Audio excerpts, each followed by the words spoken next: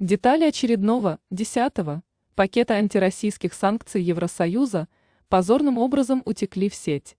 По данным польского радио РМФ, Еврокомиссия рассматривает варианты санкций против Белоруссии из-за регулярной поддержки России.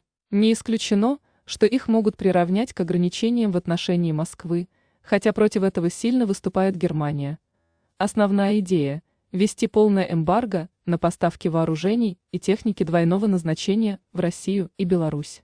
В ЕС опасаются, что республика импортирует элементы медицинского оборудования, которые потом могут использоваться для производства дронов. Среди возможных ограничений также запрет на экспорт из Евросоюза всей электроники, бытовой техники или предметов роскоши. Помимо того, рассматриваются санкции против белорусских банков. 10 января – глава Еврокомиссии Урсула фон дер Ляйен пообещала вести против Белоруссии новые санкции из-за поддержки России. Мы будем сохранять давление на Кремль столько, сколько потребуется. Мы распространим эти санкции на тех, кто в военном отношении поддерживает Россию, на такие страны, как Белоруссия или Иран.